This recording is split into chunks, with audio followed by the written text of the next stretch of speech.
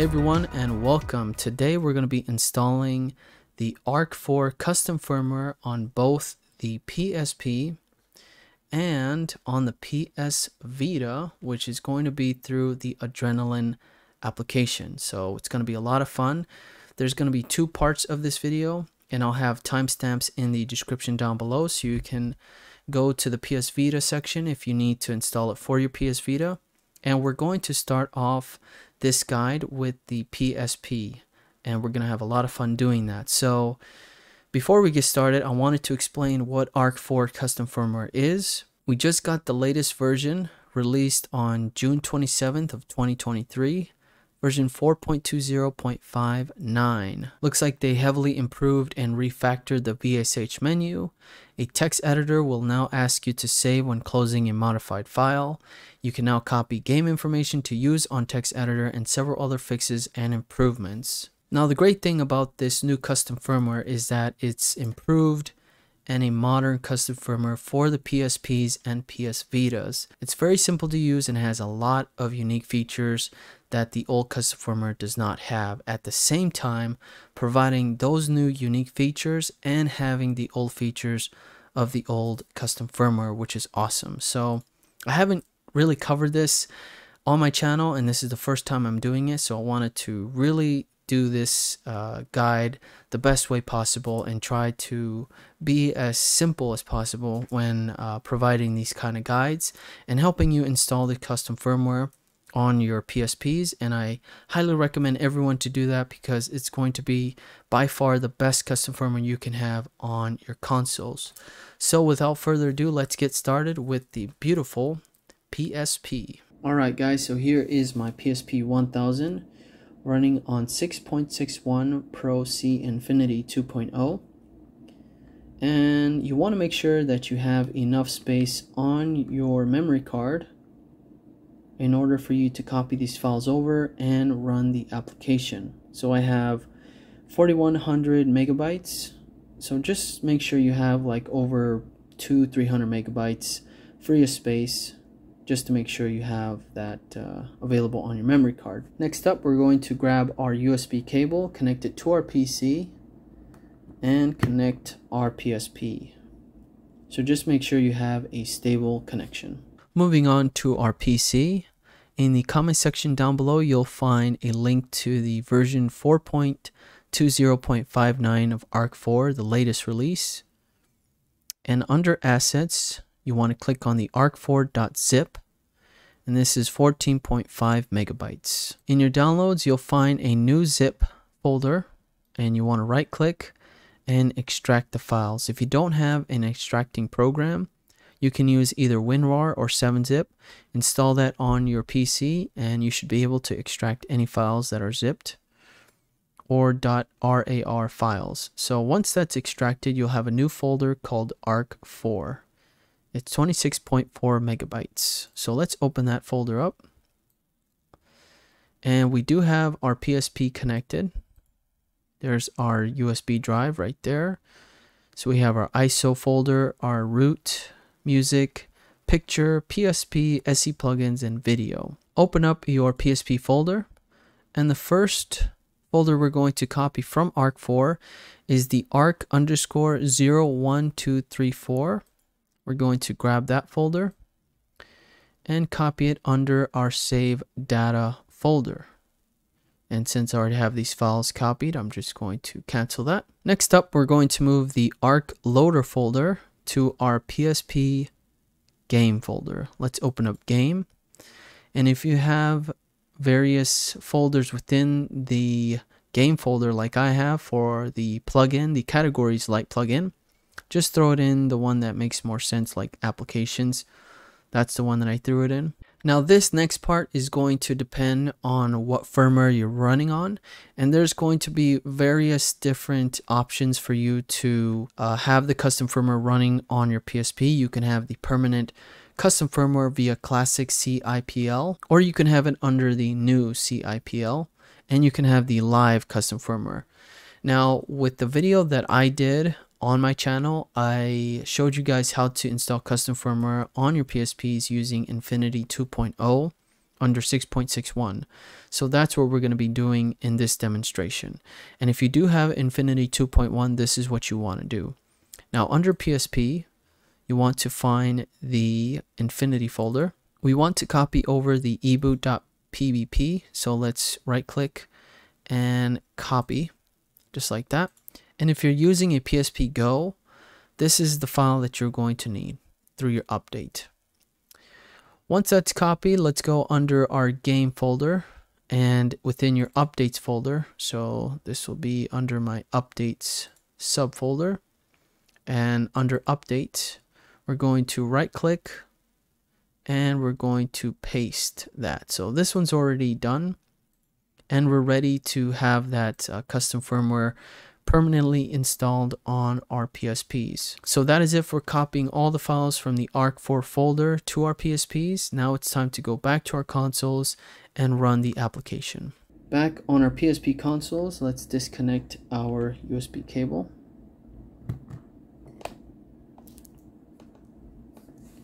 And let's find the application we just copied over. So this one will be under my applications and there is the Ark launcher. So let's hit X.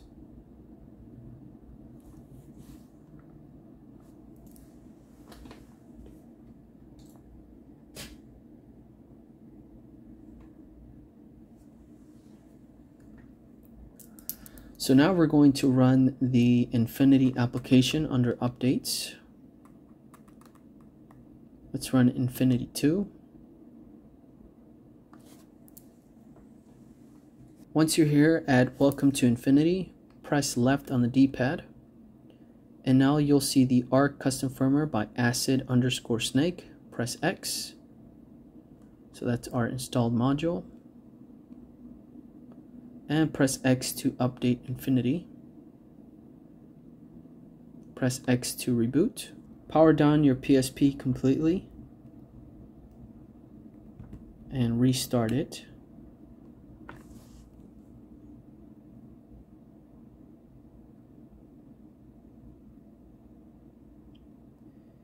And your plugin should be disabled just like my custom themes plugin. And we're now at the regular CXMB but we will see some new features if you did everything correctly. So under our settings we'll have our custom firmware settings our plugins manager very nice.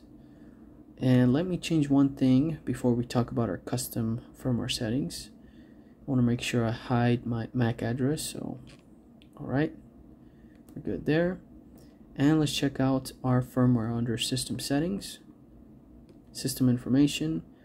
And we have the system software at ARK 4.20.59 infinity. So everything went great. Now before you may get just the gray or white and it's very hard to see so uh, just go in and change the color so you'll you'll be able to see all the font and stuff like that. But let's take a look at the custom firmware settings. And here we have the overclock disabled.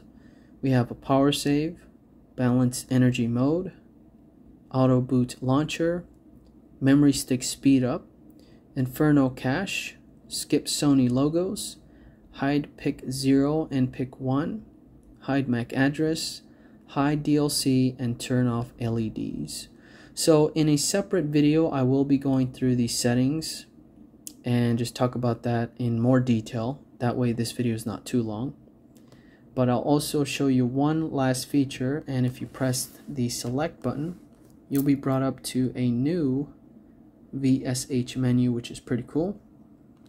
We have our recovery menu, advanced VSH menu, shut down device, suspend device, reset device, reset VSH, and exit. So let's check out the advanced VSH menu.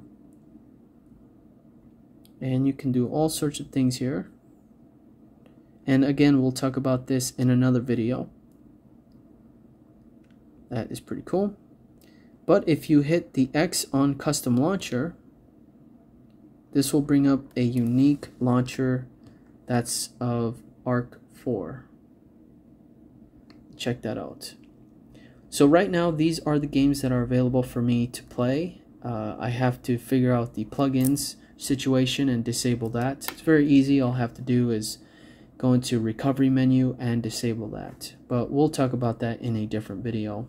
So there you have it. Congratulations. We now have Ark 4 installed on our PSP consoles. So we just got done installing custom firmware on our PSP consoles. Now it's time to move on to the beautiful and powerful PS Vita. So now we're going to move on and installing Ark 4 through Adrenaline on our PS Vitas. So the first thing we're going to do is open up our Vita shell. And we want to make sure that our main settings, our select button is the FTP. So we're going to be transferring these files via FTP server. It's just the easiest way for me to do it right now. So let's press select and get that FTP server running. And on our desktop here, I'll do a quick connect. And there we go. We are successful. And there are the folders to my PS Vita. In the comment section down below, you'll find a link to the version 4.20.59 for ARK 4. And make sure you click on the ark4.zip link. And it's 14.5 megabytes. So click on that. And once you finish downloading that, you want to extract the zip folder. Right click and extract files. And if you don't have an extracting program, you can either install 7-zip or WinRAR to extract these folders and files for future use. So once you have it extracted, you will have a new folder called ARK4 and it's 26.4 megabytes. So let's open that up and you'll find a README, a PSP folder, PS Vita folder, themes, update, and ARK 01234. On your FTP client, open up the UXO folder. And you want to find the PSP EMU folder. This is our adrenaline. And let's open up our PSP and open up the save data. And here we're going to copy over the ark underscore 01234 folder. So grab that, copy that over, and that's finished. Let's go back and under game, I'm going to copy over the ark loader. If you have subfolders like I do, just throw it into one of the folders that makes sense. Uh, for me, I have the homebrew app, so I'll open that up. And in the ARK 4, let's open up the PSP. And we're going to grab this ARK underscore loader folder and just copy that over to your game folder. And once that's copied over, we're going to go back to ARK4 and under PS Vita, under Adrenaline folder, grab the k.bin, copy that, or just drag it over into the Ark loader folder. So open up the Ark loader folder, copy that over, and overwrite the k.bin folder with the new one from the adrenaline folder. So that is it for the file section. We can now disconnect our PS Vitas from the FTP client. So let's do that. Let's grab my controller here. And let's run adrenaline. So let's go under our homebrew apps is where I have it copied over. So here is Ark Loader. Let's run the app.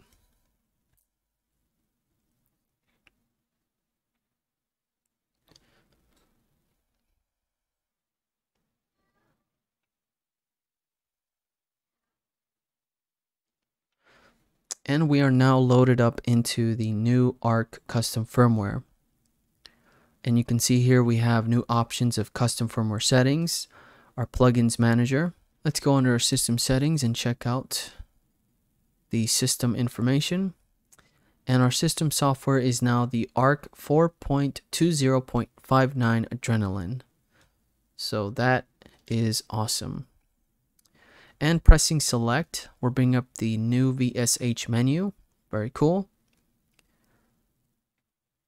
so we have the recovery menu the advanced VSH menu shut down device suspend device reset device reset VSH and our custom launcher. Let's check out the advanced VSH menu. And you can see we have all sorts of different settings. And I'll be covering this in another video because I don't want this one to be too long. Uh, but that is awesome. And I can't wait to have fun with this. So let's go back and run the custom launcher. And this is a custom Ark launcher. And it's pretty cool. You could just run your games and stuff like that through here. Very nice. And pressing start will launch the app or game that's there. So let's quit our game. And this will take us back to Adrenaline with the Ark 4 custom firmware ready to go. And you can always tell just by pressing select, you'll see ARK 4.20. And we're actually going to exit out of here real quick and run Adrenaline one more time. And one thing to keep in mind is that ARK is not going to completely stay on your Adrenaline. You will have to uh, run the app every single time. So you would have to go to the homebrew apps or wherever you have ArkLoader uh, installed and you'll have to run this application. Now, if you do have the Adrenaline Bubbles Manager, all you have to do is just create the bubble manager for uh, the ArkLoader. So create an auto boot bubble for ArkLoader, run that instead of Adrenaline, and you should just boot up into Ark uh, custom firmware. As you can see there, there it is, 4.20.59. But there you have it. That is Ark 4 on the PS Vita. Very nice. And that is it for this one, guys. Thank you so much for watching. I really do appreciate it. And I hope that I was helpful in this guide. And I was able to have you understand and guide you through this process of installing Ark 4 custom firmware on your PSPs and or on your PS Vita consoles. Let me know in the comment section how I did, and if you enjoyed it, please give it a thumbs up. And if you haven't already subscribed, please subscribe to the channel and hit that notification bell so you don't miss any more content here on the channel. Thank you so much for watching again, guys. Take care, and we'll see you on the next one.